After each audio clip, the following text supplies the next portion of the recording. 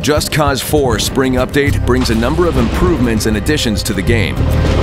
We've updated world lighting, providing more vibrancy and visibility to the Isle of Solis.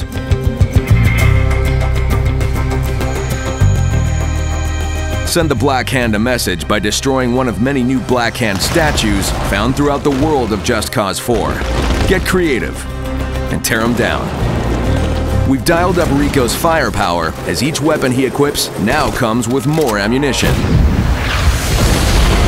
Improved vehicle combat AI brings more intense dogfights, deadly car chases, and more action to Just Cause 4's sandbox. New mobile chaos objects have been introduced to Solis, giving Rico more opportunities for creative destruction. Look out for Black Hand trucks carrying chaos objects take them down. And that's not all for destruction.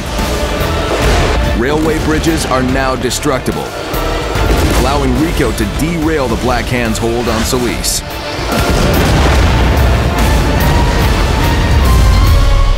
The Just Cause 4 Spring Update. Download for free from May 21st.